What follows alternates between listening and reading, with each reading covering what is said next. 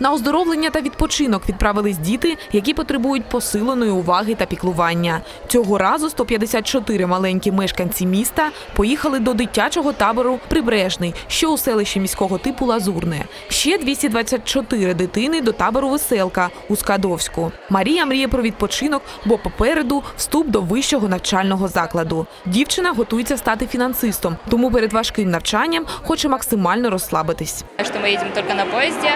Э, Я ожидаю ну, каких-то новых эмоций, отдохнуть. Это самое главное, так как у меня впереди ЗНО, настроиться, потому что это последний месяц, мне хотелось бы его провести очень круто и гармонично, и все. Загалом протягом цього літа міська влада організувала відпочинок для 743 дітей. На це з бюджету Дніпра виділили близько 6,5 мільйона гривень. Ще більше мільйона на оздоровлення 120 вихованців комунальних підприємств соціального захисту. щоб вони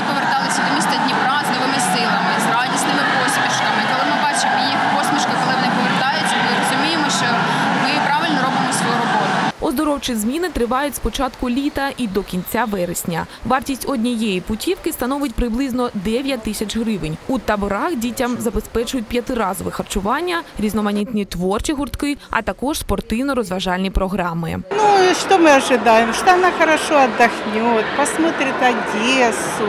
Ну, чтобы солнце было, тепло было, хорошо деткам было. Вот это вот и все. То, що ми хотим. Діти відпочиватимуть 21 день. Вони встигнуть повернутися до 1 вересня, щоб із новими силами розпочати навчальний рік. Яна Степаненко, Дмитро Петрук, Open News, телеканал відкритий.